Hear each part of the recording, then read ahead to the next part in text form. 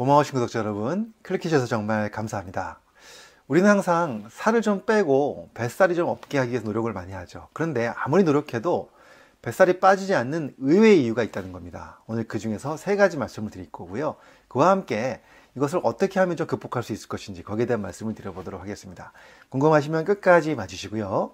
도움이 되셨다면 좋아요, 구독, 알림 설정까지 해주시면 정말 감사하겠습니다.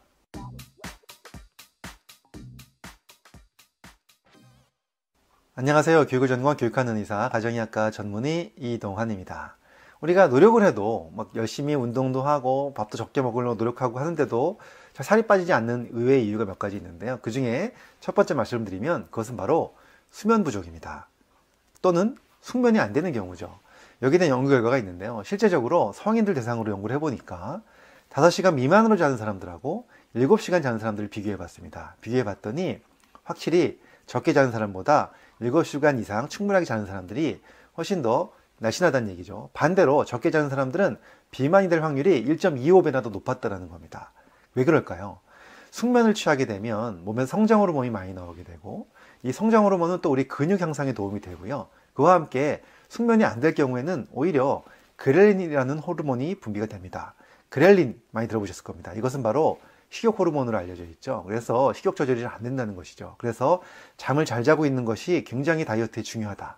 그렇기 때문에 만약에 살이 잘 안 빠진다 하면은 내가 잠을 잘 못 자지 않는 것인가 또는 수면 시간이 부족하지 않는가 한번 꼭 생각해 보셨으면 좋겠고요. 그 다음에 두 번째는 바로 스트레스입니다.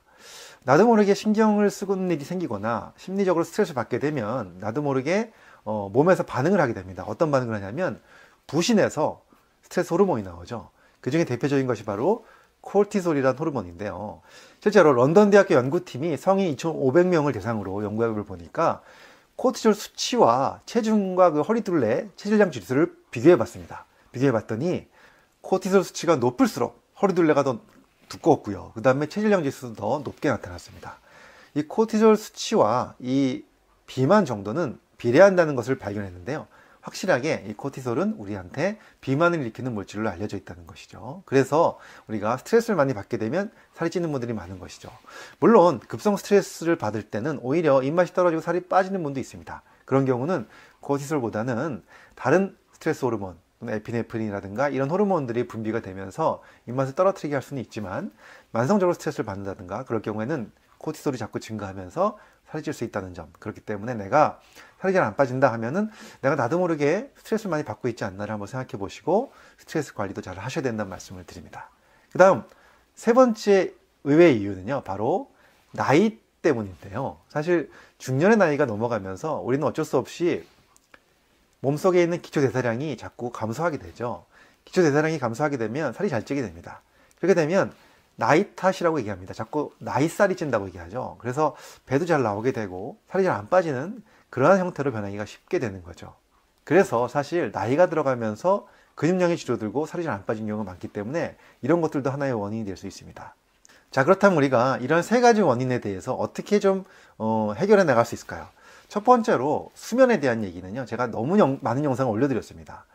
어, 유튜브에서요. 이동환 수면 이렇게 치시면요. 정말 많은 영상이 올라오는데 제가 항상 강조드리는 것처럼 일단은 카페인을 줄이거나 끊으셔야 됩니다. 카페인은 나도 모르게 수면을 방해하는 굉장히 어, 우리가 흔히 접할 수 있는 물질이죠. 그래서 카페인을 줄이는 게 굉장히 중요하고요. 그와 함께 낮 시간에 햇빛을 보면서 산책하는 것도 굉장히 중요합니다. 그렇게 되면 세로토닌이 많이 분비가 되고 이것이 또 밤이 되면 멜라토닌으로 바뀌면서 숙면 호르몬으로 작용을 하게 되죠. 그래서 이런 활동 중요하다는 거 꼭 말씀을 드리고요. 그 다음에 두 번째 스트레스 관리도 너무 중요하죠. 제가 사실 이것도 이동안 스트레스 이렇게 쳐보시면요. 굉장히 많은 영상들이 나옵니다. 그 중에 제가 또 말씀드린 것 중에 하나가 뭐 심호흡도 있고요. 그 다음에 또 명상에 대한 얘기도 말씀드렸는데 명상을 좀 꾸준하게 하는 습관을 기르면서 스트레스 관리하는 것도 굉장히 중요하다는 말씀을 드립니다. 그 다음에 세 번째로 나이가 들어가면서 생기는 기초대사량이 떨어지면서 생기는 문제. 이것도 역시 어, 물론 이것이 해결하기가 쉽지는 않습니다. 호르몬의 변화가 있기 때문에 그런데요.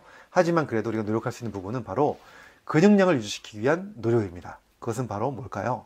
근력 운동이겠죠. 그래서 꾸준하게 근육 운동 하시고 그와 함께 단백질 섭취를 잘 하셔가지고 근력 운동 단백질 섭취를 통해서 근육량을 유지하는 것이 어, 나이살을 찌게 하는 것을 막아주는데 굉장히 중요하다 이 말씀을 드립니다 자, 오늘은 제가 아무리 노력해도 뱃살이 빠지지 않는 의외의 이유 세 가지 말씀을 드렸는데요.